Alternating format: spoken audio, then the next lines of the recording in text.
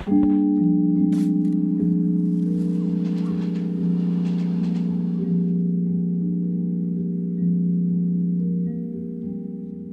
ფილმის მიმართ ინტერესი ძალიან დიდია დღესაც. ეს არის ჩვენ ენაზე რომ ვთქვათ, მუშა ფილმი, რომელსაც ყოველთვის ვიყენებთ ქართულ რეტროსპექტივების დროს საზღვარგარეთ. ჩამოვიტანეთ ფილმი მოსკოვიდან და მოხდა ფილმის სკანირება, მისი ციფრული ვერსიის დამზადება და ამავე დროს რესტავრაცია. ეს არის ძალიან შრომატევადი და ხანგრძლივი პროცესი. ჩვენ გვიდოდა რომ ფილმი წარმოჩენილიყო აი იმ პირვანდელი ვერსიით, როგორიც იყო თავის დროზე გადაღებული. ამაზე ძალიან ბევრი ხალხმა იმუშავა და ყველას მადლობა მინდა გადაუხადო. ჩართული იყო ჩეხური კინოკომპანიაც, რომელმაც სკანირება გააკეთა ამ ფილმის. შემდეგ მოხდა ხმის, ფერის კორექცია. გოსლმა ფონდი ამზადებს დუბლ ნეგატივებს, ანუ ლავანდას. ეს ლავანდა ჩამოდის საქართველოში და ეს უკვე ჩვენ გვაქვს ფირზე გადატანილი, ну ფაქტიურად ორიგინალი და უკვე ამის გაციფრვა შეიძლება ნებისმიერი ფორმატით. ესე იგი ყოველ ეპიზოდს ჩვენ გავდიოდით, ვასწორებდით ყოველ კადრს და სრული, ესე იგი დაუბრუნდა თითქოს მას თავისი პირვანდელი სახე. ხმაც გაწმენდილი არის ეს ეს კიდე სხვა და რთული პროცესი. გადავწყვიტეთ ეს ეპოქალური კონტექსტუალური სიძველე და ტექნიკური სიძველე გავყოთ და გავაცალკევოთ ერთმანეთისგან. ამ ტექნიკურ სიძველეში იგულისხმება აგრეთვე შენახვის შედეგად მასალის დეგრადაცია რაც გარდაუვალია. და წარმოვიდგინეთ როგორი იქნებოდა ვიზუალურად და ხმოვანი რიგის თვალსაზრისითაც შეძლების დაგვარად ფილმი თუ რეჟისორს და გადამღებ ჯგუფს მივცემდით მეტნაკლებად მიახლოებულ დღევანდელ ტექნიკასთან ტექნიკას. როგორი იქნებოდა დაუშვათ გამოსახულება, სადაც არ არის ფირზე ნაკაწრები. არის კარგად დაბალანსებული და მხატვრულად გამართული ფერი. არ არის ეგრეთ წოდებული კამერის და კამერის შიგნით მექანიზმების ყანყალი. ამ ყველაფრის გათვალისწინებით ვეცადეთ მაქსიმალურად სრულყოფილად და დეტალურად გაგვევლო რესტავრაციასთან დაკავშირებული პროცესი. ის ფაქტი, რომ ციფრულ ეპოქაში ის იარსებებს როგორც ციფრული და თანა დაუდგება გვერდით იმ ფილმებს, რომელიც ამ ეპოქაშია გაკეთებული, ეს არის ძალიან დიდი რამ. ეს იგივე არის თითქოს რომ აი მუზეუმში იყიდება აი ეს ტილო და ყოველთვის იქ იქნება. ეს ფილმი დღეს რომ აღსდგა და ისევ დაგვიბრუნდა, ეს იმხელა რაღაცა არის, ეს იმხელა ისტორია კამპილს. სხვანაირად მე მგონი არ უნდა მომხდარიყო. ბედნიერება ეს და ძალიან კარგი, ამიტომ ყველა ძალიან დიდი მადლობა ვინც ეს გააკეთა, ვინც ეს რაღაც საგანძური შექმნა და დატოვა. ეს თენგიზისთვის იქნებოდა უმნიშვნელოვანესი, რომ მის ქვეყანაში მოხდა ამის აღდგენა. მიხარია, იმიტომ რომ როდესაც ფილმი აღდგება ხოლმე უკვე ფესტივალებზე ხელახლა ხდება გამოწვევა და დაიწყება ფილმის მეორე სიცოცხლე.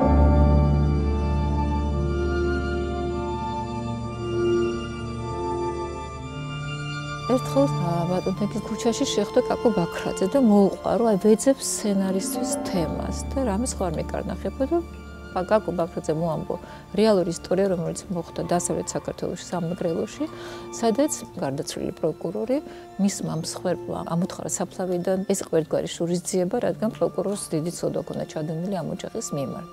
ამაში იყო მთელი ეპოქა 90-იან წლების ეპოქა იდო აი ამ სიუჟეტში. და ეს გახდა ასე ვთქვათ საფუარი ამ ფილმისთვის მთავარი მარცვალი პრინციპში საქართველოში არ არსებობდა დისიდენტური ლიტერატურა. ამიტომ ჩვენ მოგვიწია ამ მასალის რეალური ადამიანებისგან, რეალური მოწმეებიდან შეგროვება და ფილმში ყოველი ფრაზა და ყოველი სიტყვა არის სრულიად რეალურ ამბავზე და დოკუმენტურ ისტორიებზე არის დაფუძნებული. უბრალოდ ეს ყველაფერი რო შეგროვდა, მაშინ 80-იან წლებში ეს იმდენად მაინც ასწავლად ჩანდა და არ გჯეროდა რომ თუ ეს შესაძლებელი იყო რომ მომხდარიყო და აქედან მოვიდა ეს ფორმა. ეს იყო ბატონ თენგიზის ესე იგი მთავარი ეს მიგნება რომ ეს მიყოს ფანტასმაგორია, არ უნდა იყოს ნატურალისტური სინამდვილე რეალობა, ეს მიყოს ფანტასმაგორია, რომელიც მოხდა არის და მოხდება. იმიტომ რომ ძალადობა ყოველთვის მაინც ბატონობს ადამიანთა საზოგადოებაში. თუმცა ბევრს მაშინ ეს მიაჩნდა ერთგვარ პრიმიტიულ სვლად, მაგრამ მაინც დრომ დაამტკიცა, რომ ამითი ფილმი რაღაცა გარკვეული განზოგადოების მასშტაბი მიიღო. თავიდან ჩაფიქრებული იყო ფილმი ხო ესთეტიკაში, იმიტომ რომ იქ დოკუმენტურად უნდა ყოფილიყო ყველაფერი. და ესე უცბად გადაწყდა, რომ ეს უნდა ყოფილიყო ესე პირობითად სხვა კინოენა აიჩია და ეს არეული როა ყველაფერი იქ არის ბოსხის რაღაც ელემენტები, ტრეიგელის და ეს ნაზავი ამ ამით გახდა საინტერესო მგონია რომ რა ვიცი ეს გამდიდრდა ეს ამ კინოენით. სოფლიო კინოს ისტორიაში არსებობს ფილმები, რომლებიც არ ძველდება არ ძველდება არა მარტო იმიტომ რომ გარკვეული ხატული ღირებულებები გააჩნია ამ ფილმებს, არამედ იმიტომაც რომ ეპოქალური მნიშვნელობის არიან. და სწორედ ერთ-ერთი ასეთი ფილმი არის თენგიზაბულაძის მონანიება, ფილმი რომელმაც ზეგავლენა მოახდინა კიდეც პოლიტიკურ საზოგადოებრივ პროცესებზე. იმიტომ რომ ეს არის ფილმი დიქტატურის წინააღმდეგ, ეს არის ფილმი გააზრების იმ წარსულისა, რომელიც ჩვენ გქონდა 70 წლის განმავლობაში. ამ ფილმი ფაქტიურად რაღაცნაირად დაიწყო ის პერესტროიკა, რასაც ახლა ეძახიან ისტორიულს, იმას რომ დაინგრა ძალიანად ეს ისე, იმიტომ რომ წარსულს თითქოს ჩახედა თვალებში ძალიან ძაფრად ამ ფილმით თელმა იმ საზოგადოებამ, რომელიც რაღაცა ის სისხლზე და ძვლებზე და ძალადობაზე იყო აღშენებული. და რაღაცა კათარსისივით იყო ეს ფილმი. ეხლა უკვე ფილმი თვითონ იმდანაც მოვლენური გახდა და ისეთი მოვლენად გადაიქცა, რომ ამას არავინ არ ელოდა მე მგონი, არ ვიცი, ამას ვერც დაგეგმა. მუშაობის პროცესში ერთადერთი რაზეც ვფიქრობდით, ძალიან მცირე პროცენტი იყო იმისი, რომ ეს ფილმი გამოსულიყო. მაგრამ ის რომ შენ აკეთებ ამას და ის დაიდება ესეც უკვე დიდი საქმე იყო. ამ ხელა რეზონანსი თუ ექნებოდა არ გვეგონა, მაგრამ თუმცაღა ვიცოდით, რომ რაღაცა იქნებოდა, რა მასშტაბის არ ვიცოდით, იმიტომ რომ მონანიების სცენარის დაწერისთანავე იყო პრობლემური. საბოლოოდ სცენარის ორი წელი მომდით მის შექმნას, დაიწერა და კლავ უნდა წასულიყო თენგიზი შევარდნაძესთან. შევარდნაძემ რო წაიკითხა ასევე 6 თვე ჩვენ მოგვიწია ლუდინი და გაისმა ზარი. შევარდნაძე იყო შოკირებული თქვა რომ რასეკვირულ ეს ფილმი აუცილებლად გაკეთდეს. ფილმი გადაკეთდა როგორც სატელევიზიო ფილმი.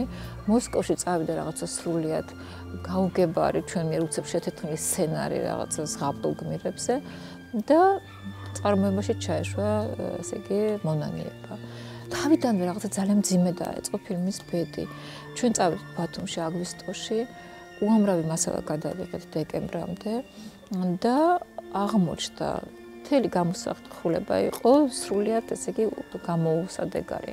ამიტომ მოგვიწია ყველაფერს თავიდან გადააღება. ნოემბერში უნდა გადაგვეღო დიდი მასიური სცენა ვალამარაბიცის გასვენების და ჩვენ ჩამოვრეკეთ ეს კი მსახიობებთან მათ შორის გეგა კობახიძესთან მეორე დილას ჩვენ გავიღეთ ეს ტრაგიკული და საზარელი ამბავი. ამავე დროს გეგა სახში უკვე იყო ჩხრეკა წარმოებული და კაგებემ აღმოაჩინა სცენარი რომელსაც არავინ რომელიც არავის არ ქონია წაკითხული. და იმ წამსვე დაიწყო უკვე გამოძახებები და დაკითხვები თენგიზის და ფაქტიურად აღმოჩნდა რომ ფილმი დაიხურა თენგიზმა დაიწყო ამ დისიდენტური ლიტერატურის რომელთა ძალიან ამაყობდა სახლიდან გატანა, იმიტომ რომ ფაქტიურად ელოდა რომ შეიძლება ესე იგი მომხდარიყო მისი დაპატიმრება.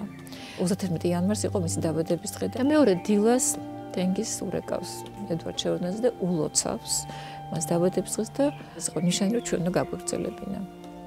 ну რასაკურელი იმ წამსო დავიწყეთ ოპერატორის ძებნა და ლომერ ახლედიანმა რომელიც ვერ წამოვიდა ფილმზე იმიტომ რომ ზოჩხიედესთან იყო დაკავებული ჩამოიყვანა თავისი მეგობარი მოსკოვიდან მიშა აგრანოვიჩი ჩვენ ავირჩიეთ ახალი თორნიკედ ესე ძალიან მძიმე და ტრაგიკული იყო ეს ჩანაცვლება გიგასი ამ ახალი პერსონაჟით, მაგრამ არაჩვეულებრივი აღმოჩნდა მერაბ ნინიძე. მე უკვე მერე რაღაც პერიოდს მერე მივხვდი, როგორ დაუკავშირდა ჩემი სახელი გიგას სახელს ამ ფილმის გამო.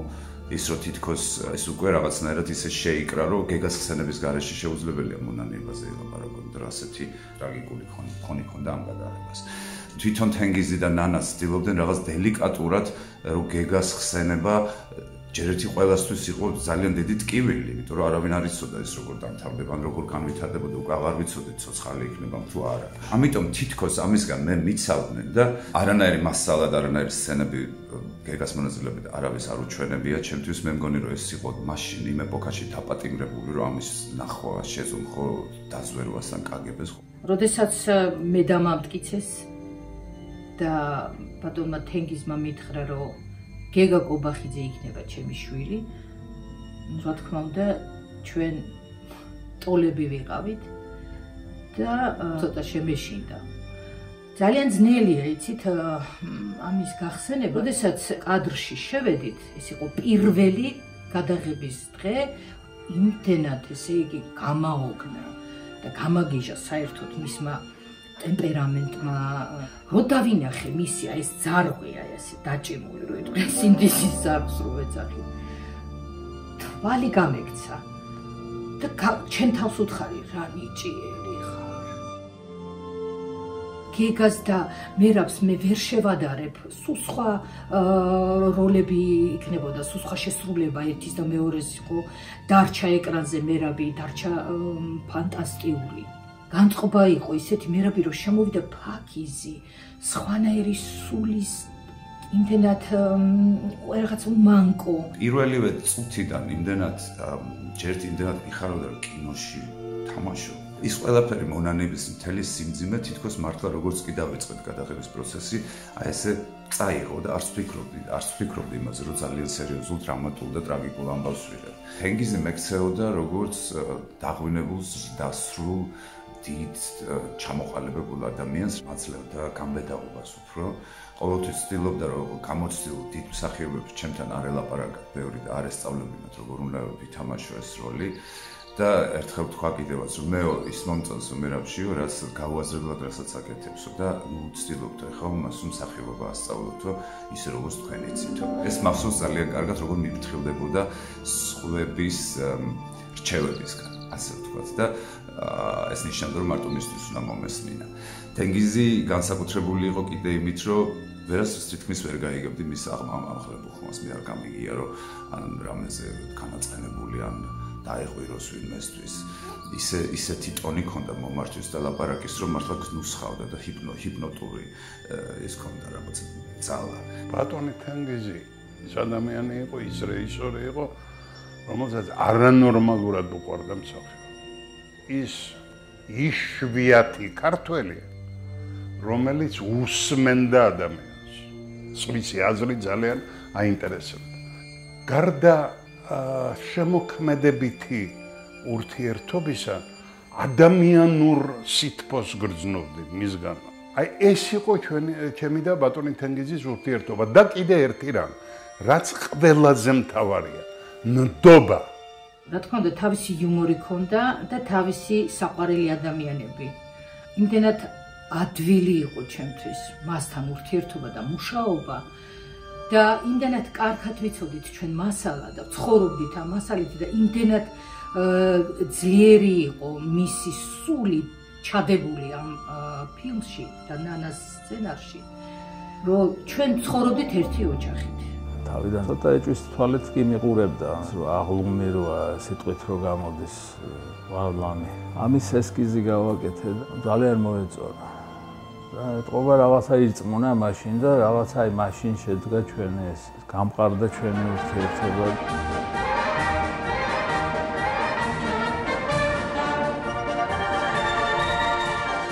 ეს იყო აბსოლუტურად სინთეზური, ეს იყო მუსოლინიც იყო იქა.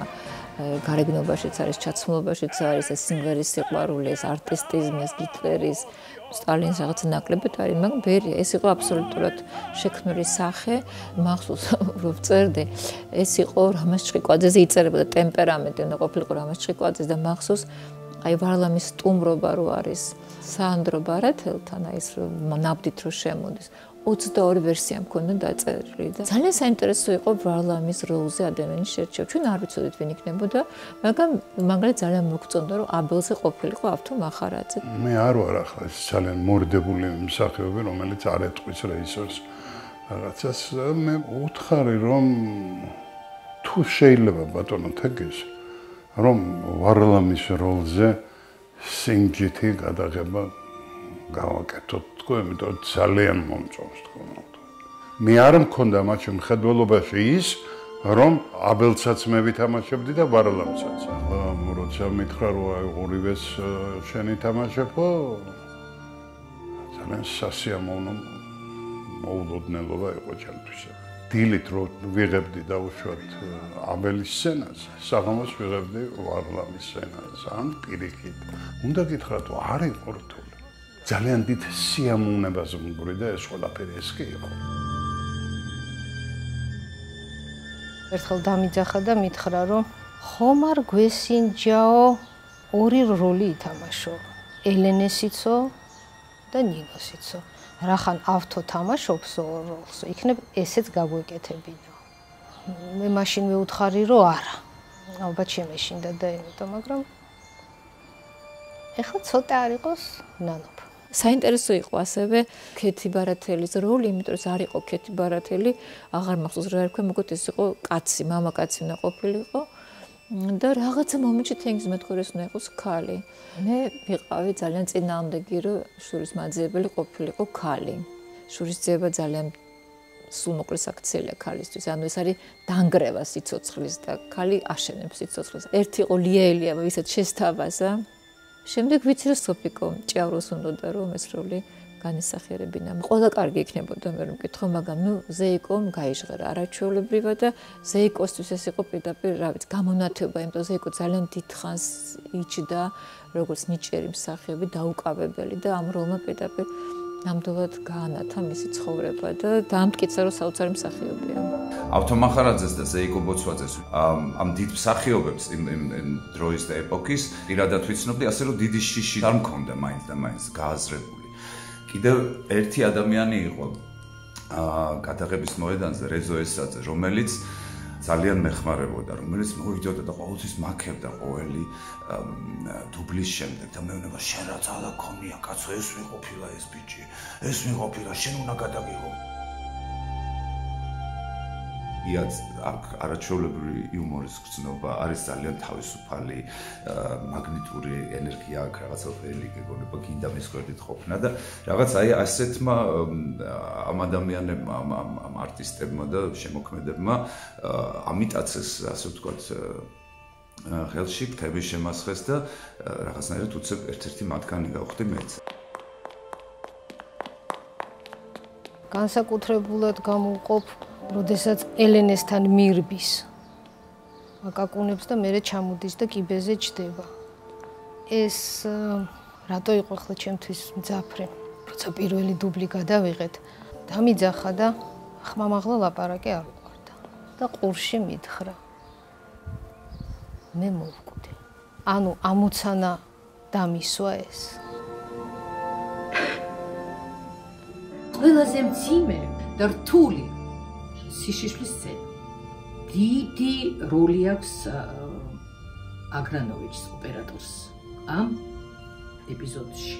იმდენად შვიდად მიმიყვანა, იმიტომ რომ მე სისხლი წამ წამწყლას წვირიდან გადაღების პერიოდში ეს ყველაფერი იყო, ეს ნერვიული, ეს განცდა ყველაფერი და წამში ხდებოდა. წამში მოხდა ეს ყველაფერი ერთი დუბლით გადავიდა. ალე ჩვენ რეპეტიციებს გავდიოდით. არ არსებობდა ისეთი სცენა, რომ სადაც ჩვენ ერთი ვარიანტი გვეჩვენებინა ბატონი თენგიზისთვის. ერთ შვენიერ საღამოს დაუწყე ლაპარაკი მე ამ სცენაზე. მისმინა ბატონმა თენგიზმა, მისმინა, მისმინა. ათო, თვალო ჩვენ გამოსასვლელი დღე გვაქვს, წავიდეთ ობიექტზე იქ და რასაც მიყვები ეს მაჩვენეო მითხრა. მე ვითამაშე ეს სცენა. ბატონმა თენგიზმა უცებ ნანას და ნანა შეკრიბე მთელი ჯგუფი. ამ სცენა ჩვენ ეხლავე და იმ დღესვე გადავიღეთ ჩვენ ეს სცენა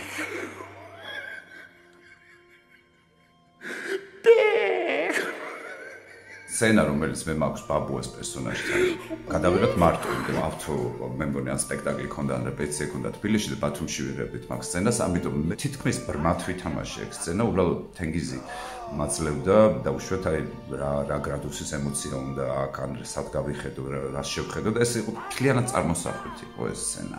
ეხლა რაც მე ხსიერებაში ამოტივდი და ყველაზე რთული იყო, როდესაც ზეიკო ბოცვაძესთან მივდივარ იმის პერსონაჟთან დიალოგი ძალიან მინიმალურია და ემოცია უნდა და ზუსტი. ამიტომ მაგაზე ცოტა ვიწვალეთ, იმიტომ რომ თენგიზის უმეუნება და აბა ეხა ესე, აბა ესე ცადე, აბა ესე ცადე, აი ეს განცდა მივამატოთ რაღაც. ეს მახსოვს.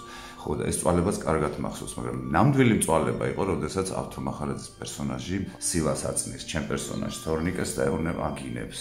და მაშინ არ იყო ეს ყოველ სიტყვაზე გინება ქართულ კინოში და ეს მაინც დაცენზურებული იყო და პირველად გაისმა თითქმის შენი და რაღაცა და ეს ის იქაც ისე დაადეს, მაგრამ თითქმის არის მოდა და ას მოგეთ მაგინებს და მირტყავს. ნახე იმდენი დუბლი გადავიღეთ ავთოთ მაქსიმალისტია და არაჩვეულებრივი არტისტია და ისიც არ თავის 150%-ს აძლევდა ამ ამ ამ როლს რა თქმა უნდა ისეთი გულით მირტყამდა სახეში რომ აა სიმწრისგან შრემლები მომდიოდა. ალბათ მაგის ხარჯზე ვითამაშე ის სცენა თვითმკვლელობის იმიტომ რომ იმდენად გაუსაძლისი იყო ფიზიკურად მისი ასეთი ასეთი დარტყმა 8-9 დუბლი მე იქით რა კურსიდან და აი აი ხბის დიდი ხანი მქონდა იმის პრობლემა რომ აი როცა რაღაცა წმიანს რაღაცა რო ჯერ ვერ ვაღებენ თლიანად და მას სულ ვცდილობდი რომ გავისწორო მეგონა რომ ამომივარ და ხმა. სახლი კი არა! კუბოა კუბა! მოგაგრინა შენი დედა ან მე წენი აი შენ აცი არ ყოფილიყო. აბე აი მაგალითად კახი როცა მე მირტყამს. ну ახლა როგორ უნდა დაერტყა? ტექნიკურად მირტყამდა უფრო და იქამდე მივიდა საქმე რომ მე უთხარი კახი შენ არ გინდა? მე რო ვითამაშო ეს სცენა თქო? შენ სპეციალურად არ მირტყამ მე უთხარი? და აი შემდეგ როდესაც გადავიღეთ აი იქ კადრშიც კარგად ჩანს რა დარტყმა ის და სიძლიერე. რატო ვლაპარაკო პარტნიორობაზე ვლაპარაკო ურთიერთობებზე ვლაპარაკო ერთმანეთისგან გამოსვლაზე ვლაპარაკო ერთმანეთით შექმნაზე ვლაპარაკო ვინ არის მტერი?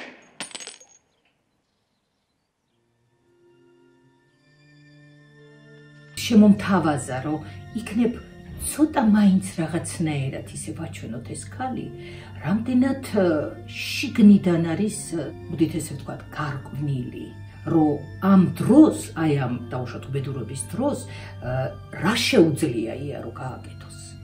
რაზეც მე დამებადა ესეთი მომენტი, რომ აი ავთო თუ ჩაწვება კუბოში, მე გარშემო ვიცეკვე თქო. და ეს შევიდა ფილმში.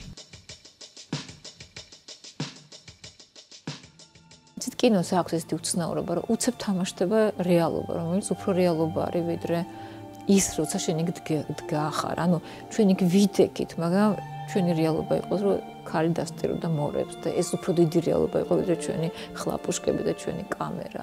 მან მორებში დასტირის თავის ვაჟიშვილს მზია מחველაძე, მზია מחველაძე თენგიზის მეუღლე იყო და მე მახსოვს რომ ყველა სრემლები მოზიოდა რომ მორჩა მზია და მართლა ტიროდა და მთელი ჯგუფი ხო ტიროდა, მაგრამ ვეღარ მოითმინა და ყველამ ტაში დაუკრა, იმიტომ რომ რაღაც არის ის, როცა ხელოვნებაში დგება რაღაცა ჭეშმარიტება, რომელიც ყველაზე დიდი არის. გულიმწყლებოდა იმაზე რომ 17 წლის ბიჭმა თავი უნდა მოიკლას ცხოვრება იქ უნდა გააჩეროს სადაც ფაქტიურად უნდა დაიწყოს. ამაზე დიალოგებში ნანა ისე მომყვებოდა როგორც მართლა თავის ტოლს. უფროსი სცენარის თანაავტორია და ცდილობდა რომ აეხსნა რატომ არის ფილმისთვის მნიშვნელოვანი რომ ასე დამთავრდეს გული მტკიოდა, გული მწდებოდა, ვეუბნებოდი გამოიცვალოს გვარი, წავიდეს უცხო ქვეყანაში, ახალი ცხოვრება დაიწყოს. მიეცით ამბეთ შანსი რაღაცნაირად, ხო? ის რაც თორნიკებს შანსი არ მისცა ნანამ რომ გაიკეთებინა, წასულიყო სანამ თავის ცხოვრება ახლიდან დაეწყო და წარსული ჩამოეშორებინა, მე შეიძლება მოვახერხე პირად ცხოვრებაში. წეული მწიხო სახელი შენია ბელარავიძე ეს სცენა სცენარში იყო დედის სცენა იმდენად მომეწონა ეს სცენა. ჩემი ჭკუით ახლა ვფიქრე როგორ მოვიპო ეს სცენა და როგორ ვითამაშო. ბატონ თენგიზ მე ვთხარი დედისგან შვილის დატირება ჩვეულებრივი მომენტი არის. თუ ჩვენ ხელოვნების ნაწარმოებს ვიღებთ რაღაც და ამას ხო? აი აქ როდესაც мама დაიტირებს ამას მისი მოდგმის წევლით და ყველაფრით ხო ამას სხვა მასშტაბი ექნება ალბათ თქო რა თქმა უნდა ბატონმა თენგიზმა იმ წუთში მე არაფერი არ მითხრა რაიმე გადაწყვეტით ამაზე ალბათ იმუშავა და ერთ შენერ დღეს მითხრა რომ ამ სცენარს შენ ითამაშებ ეს გზა ღვთისმშობლის დაძართან მიმიყვანს? ძალიან რთული ფრაზა არის. და ვინ უნდა თქვეს არიცი ამიტომ თინგიზმა თქვა რომ ეს იყოს ფუფალა. ანუ ეს უნდა იყოს ნატრისხიდან გადმოსული ფუფალა რომელიც იქეცება შიულას და აკეცებს ტაძრისკენ გზას დაურეკა სოფიკოს. და უთხარო შენ და იყო ისე ფუფალა ხო მან დაგაბეროთ ცოტა. სოფიკო თქვა რაღა მემაბერებ აგერ ვერიკო მყავს აქ და ვერიკო გადაეხიო. ახლა ვერიკო მაშინ იყო აი კულტი რაღაცა ცოცხალი ხატი რენგის ვერ წარმოედგინე რომ შეიძლება ვერიკოს გადაღება. და სოფიკომ თქვა კაც მოიტანე დასაცმელიო და გაქვე გადავიღებთ სახლის ვერიკო იქვე არის სახლის სცენარი გადაღებული და აი ეს ყველაფერი ჩააცვეს. ამ ფრაზასთან ბუძახდით რომ დაემახსოვრებინა. და ესე გააკეთა. არა. მაშრა საჭიროა იგი? რის მაგნისია გზა თუ კი დაძართან არ მიმიყვანს ფილმი დაასრულა 84 წლის დეკემბერში და უნდა ენახა ხა ეს უკვე ცეკას ბიუროს. დიდხანს თურმე იყო საშინელი სიჩუმე არავინ არ იცოდა რა ეთქვა ამ ბიუროს წევრებს. და ბოლოს შევერნაძემ თქვა თენგის შენ საეტაპო ფილმი გადაგიღია და ამბობს ჯანს უჩარკვენს უხუმრია, რომ თავარი ეტაპით არ გაგიშვენ ახლა შენ სადაც საჭირო არისო. იყო მოლოცვები, მაგრამ იყო ორი შენიშნო. ეს იყო გვარი შეცვლა, იქ იყო გვარი ამილახვარი ჟღერდა და შევლენზე მithხოვა რომ ეს გვარი მართლა ამოწყვეტილია და იქნება არ იყოს ამილახვარი და რაღაცა განზოგადოებული და ჩვენ დავარქვით დარბაისლები. და მეორე შენიშნა იყო, როდესაც ვერიკო ანჯაფარიძის გმირე ეკითხება ზეიკოს ამ კეთი ბარატას, რომ ეს გზა ტაძარსთან მიმეყვანს. ის პასუხობდა არა ეს გზა ტაძართან არ მეკიყვანს. და შეუძლია გითხრა რომ არა ესო სხვანაირად უნდა იყოსო უნდა იყოსო არა ეს ვარლამის ქუჩა ეს გზა ტაძრისკენ არ მეკიყვანს. ანუ კიდევ უფრო გამწოვდნენ ეს ორი პატარა შენიშნა ჩვენ დაგვიჟდა სამთვეთ დაამხნის განმავლობაში შევრდნაძე გადაიყვანეს მოსკოვში და გაქრა ასე იგი მისი ასე ვთქვათ პატრონაჟი და დაიწყო კგბ-ს უკვე შემდეგი შეტევა იმიტომ რომ უცნაური რამ აღმოჩნდა. აი ამ შენიშვნების გამო თენგისმა მოითხოვა, რომ იქნების ერთი პირველი ვერსია მან შენარჩუნებული იყოსო და ვეხა იქნებ გადავიღოთო და პირდაპირ კედელზე მიდიოდა ფილმი და აი ესე პირდაპირ კედლიდან გადაიღეს.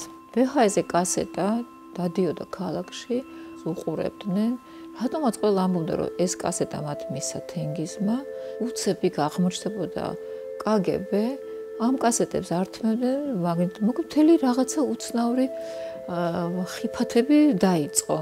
ინაური იყო საქართველოს კგბ-ს თავმჯდომარე და წერ ასეთი წერილი რომ ძალიან საშიში ვითარება საქართველოში.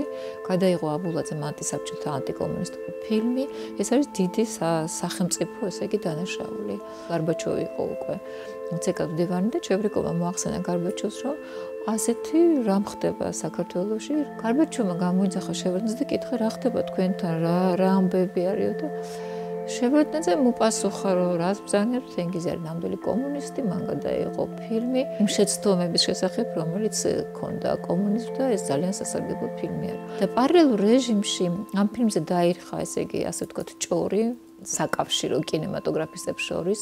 ელემ კლიმოვმა ჩამოაყალიბა კომიტეტი რომელიც განეხილავდა დაპატიმრებულ ფილმებს და ამ კომიტეტის თავმჯდომარე ელემ კლიმოვმა გამოუშვა ანდრეი პლახოვი. ანდრეი პლახოვი იყო მაშინ ახალგაზრდა კინომცოდნე რომელიც ასევე მოვიდა ჩვენთან სახლში და ნახა ფილმი. და ნუ სრულად შეძრული იყო და თქვა რომ ეს ფილმი აუცილებლად უნდა მოხდეს კლიმოვთან და ჩვენ უნდა რაღაცნაირად ეს ფილმი დაავიწყოთ აი როგორ უნდა გაგვეტანა ახლა ეს ამხელა ფილმი მოსკოვში. და რეზო ჩხეიძე მოიდგონა ასეთი სვლა. ის იმ წელს იღებდა ლენინის ორდენს თავისი ფილმისთვის მშობლიურ ჩემო მიწავ და აი ამ კოლოფებში, იაუფებში ერთ-ერთ პარტიაში ჩააწყო მონანიებო და დააწერა მშობლიურ ჩემო მიწავ და გაიტანა და პირდაპირ მეუტანა ელემ კლიმოვს ან განაცხადა რომ მე ჩემს სიცოცხლეს გავწირა, ოღონდ ეს ფილმი გავიდეს და ყველაფერს ვიდა მამისთვისო. და მართლა ესე გააკეთა, ესე იგი დაუზარებლად დადიოდა ყოველდღე ცეკას მდივნებთან, რომ მტკიცებდა, რომ ჩვენ თუ ამ ფილმს გავუშვებთ, ეს იქნება ნიშანი მთელი მსოფლიოსთვის. რომ ცივიომი დამთავრდა და პოლიტიკური რუკა შეიცვლება და აღარ იქნება ორი დაპირისპირებული ბანაკი. აი ეს ყველაფერი, იცით, ამდენი ადამიანის მუშაობა, რასაკვირველია, ერთად რაღაცა შექმნა, ერთიანი ძალა და საბოლოოდ გამოვიდა ფილმი 1986 წლის ნოემბერში გაუშვეს აქ ეკრანებში და უკვე 87 წლის მაისში იყო კანში და ნუ კანში მან მიიღო ჟურის დიდი პრიზი, მიიღო ფიპრესის პრიზი და ეკუმენური ეკლესიის პრიზი. იქ ისეთი სიტუაცია იყო კანში, რომ ყურადღების ცენტრში იყო რა თქმა უნდა ეს ფილმი. მე მახსოვს ერთი რამ, რომ ბატონი თენგიზის და მეც ისეთ დღეში ვიყავით ამ ინტერვიუებისგან. როდესაც დაჯილდოებაზე უკვე ბოლო დღეს მიიღო ფილმმა ეს ჟურის მთავარი პრიზი. ახლა რა თქმა უნდა ძალიან სასიხარულო იყო ეს ბენერები ვიყავით რა ყველანი რო ეს მოხდა. თუმცა არაფერი არ არის. რა ხდებოდა ბატონი თენგიზის ირგული? დაფიქსირებული ეს არ არის ეს ძალიან სამწუხარო. პირველად ვნახე ფილმი შემთხვევით როცა ერთმა ჩემმა ნაცნობმა მითხრა რომ ისე კინოსტუდიაში მონანიებო ვნახე ფერს ვასწორებდითო წამიყვანა ჩუმა და შემიყვანა საიდანაც უშვებენ ამ ფილმს და ფილმი მთელი ფილმი ვნახე ხმის გარეშე. აი ამ რაღაცა პატარა სარკმელიდან თითქოს ხო? მაშინ ისე რომ არავის არ უნდა გაიგო რომ მე ამას უყურებ. და ეს ხო დიდი დიდი გასაიდუმლოებული ასე ვთქვათ პროექტი და ჯერ არ ქონდა წამე ანთებული. ნამდვილი პრემიერა ფილმის იყო რაც მე მახსოვს რომ მოსკოვში წამიყვანეს მოსკოვში თენგიზაბულაძე გამოყავდა ხელში ატატებული და ატაცებული მაყურებლებს. ეს იყო მართლა რაღაც რაც გინახია რომ სადღაც 20-ან 30-ან წლებში ეს მაყურებელი რომ შედის და ინგრევა ყველაფერი. ეს იყო მართლა რაღაც რაც არასდროს არ დამამეწდება რომ იმ ეპოქაში იმ სიტუაციაში სადაც თითქოს არ იყო ამ რაღაცა ვარსკვლავური შკალა მე ვიყავი უცებ ნაწილი ამ ამ დიდი წარმატების და ჟურნალების ყდებზე მეჭდავდნენ და ჩემთან საუბარი და ინტერვიუები ველოდათ და მოსკოვში ჩართვები იყო, ტელეხიდები, იმიტომ რომ განიხილებოდა ეს ფილმი. პირველად როდესაც ფილმი ვნახე, ისეთი ამაყი ვიყავი, მთელი ჯგუფით იმ დანგრეული საბჭოთა კავშირით, რომელიც რაც მოხდა. იმიტომ რომ ყველაფერი, ყველა стереოტიპები დაანგრია ამ ფილმს. უდიდესი ეპიზოდი იყო, როდესაც მოსკოვში ჩამოვიტანეთ ეს ფილმი და იყო დომ კინოში მისი ჩვენება, როდესაც კონე მილიცია რასაც ეძახიან, აი ეს ირგლივ იყო და შუშებს ლეწავდნენ შესასვლელში და ტიროდნენ და ვარდებოდნენ ეს ქალები, თუნდაც посмотри это я прошла всё это. Ты сейчас понимаешь, почему я такая? ასე ტიროდა ხალხი. როდესაც ეს ლენინური პრემია უნდა გადმოეცათ, ეს ხდებოდა კრელში. მითხრა, მოდი აქო შენ მოიწიო. კაცო, ეს ხალხი გადამრევენ რა. ეს კაცი ამოვთხარე და ამის პრემიას მაძლევენ. სულ ოცნებობდა გადაიღო ფილმი მონანიება 2. და ამბობდა, რომ ფილმი უნდა დაიწყოს ილიას მკვლელობით და galaktionis თვითმკვლელობით და დაკარდეს.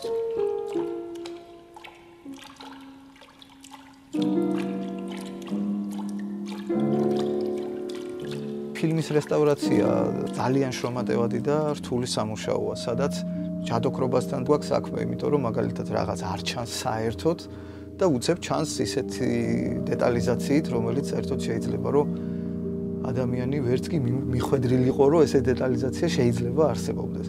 და შეიძლება ითქვას, დღევანდელი შედეგი უფრო მეტად ახლოს არის რამდენთაც უცნაური არ უნდა იყოს სარეჟისორო ჩანაფიქრთან და გადაღების მოედანთან, ვიდრე ეს იყო იმ პირველად ვერსიაში, რომელიც 80-იან წლებში ნახა მთელმა მსოფლიომ.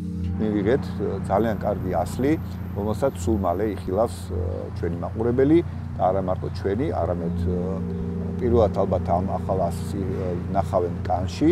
პროგრამაში მონანიბის ჩართვა ну ჩვენთვის ძალიან მნიშვნელოვანია, სწორედ ამ თვალსაზრისით, რომ კიდევ ერთხელ წარმოჩდება ქართული კინო ქართული კინოს ისტორიის რაღაც ძალიან მნიშვნელოვანი მონაკვეთი. წელს კან კლასიკი ელოდებოდა ფილმს, მაგრამ ეს არ მოხდა. აი ზუსტად იმის გამო, რომ კორონავირუსმა საერთოდ კანის ფესტივალი ჩაშალა, მაგრამ იმედი მაქვს, რომ გაისად მაინც ეს შედგება და მონანიება დაუბრუნდება კანს.